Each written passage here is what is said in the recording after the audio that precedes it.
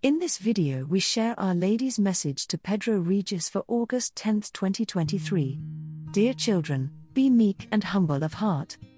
The tree of evil will grow more and more, and its fruits will contaminate many of my poor children, but the truth will cut down every tree that grows outside the vineyard of the Lord. Be ye encouraged and defend ye Jesus and the truth of his true church. Do not be afraid. Those who are with the Lord will win.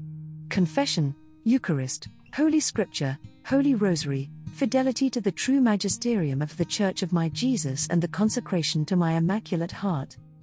Behold the weapons for the great spiritual combat.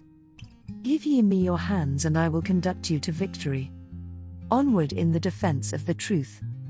This is the message that I transmit to you today in the name of the Most Holy Trinity. Thank you for having allowed me to reunite you here once more. I bless you, in the name of the Father, of the Son, and the Holy Spirit. Amen. Stay in peace. Our Lady gave Pedro a similar message on August 17, 2021. That message follows here. Dear children, be faithful to my son Jesus. He awaits your sincere and courageous yes. The church is the vineyard of my Jesus. He has given his vineyard to managers, and they must be faithful to the mission entrusted to them. If the managers throw away the seed entrusted to them by their Lord, he will one day return and ask for an account. You, managers of the Lord's vineyard, should work to produce much fruit. If you are not faithful, he will take the management away from you, and he himself will take care of his vineyard. Bend your knees in prayer. Much will be required of those to whom much is given. The bad managers sow test to choke the good seed. Be watchful. Love the truth and defend it. My Jesus expects much from you.